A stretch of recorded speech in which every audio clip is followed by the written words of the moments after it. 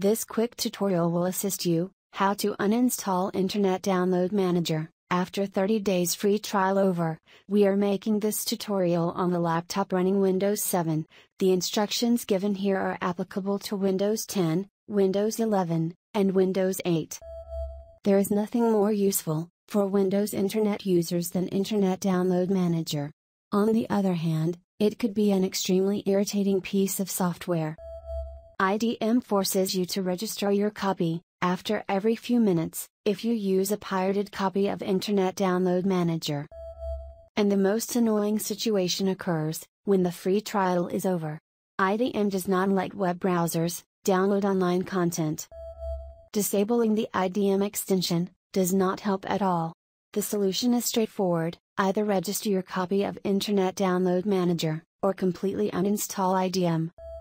Before we uninstall Internet Download Manager, right-click on IDM, and close it from the system tray. Now go to the Start menu, and open up the Control Panel. After you get into the Control Panel, open Programs and Features.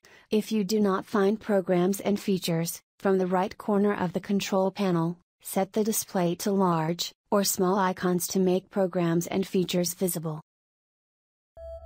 In the Programs and Features utility, find, and highlight Internet Download Manager, and click the Uninstall Change button. There will be two removal options, Default, and Full. The default option will only delete all executive files of IDM, the integration of IDM into all installed browsers. Disk space is freed by deleting all unfinished downloads, clearing IDM's download list, and removing IDM settings in the full option.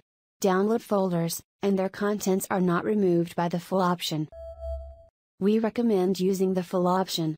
Click Next. Click Finish.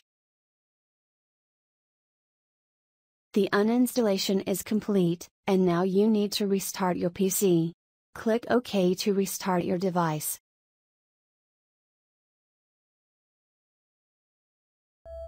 We hope, this short guide has assisted you, completely get rid of Internet Download Manager. This tutorial may not cover all points. If you need assistance, you are more than welcome to contact our team. We will try our best to help you resolve the issue. Feel free to ask questions, make suggestions, and share feedback in the comments section. Please visit softsuggester.com to get download links and more info. Give this video a thumbs up and subscribe to Simple Tutorials to help us make more useful videos. Please ring the bell button to get the latest updates.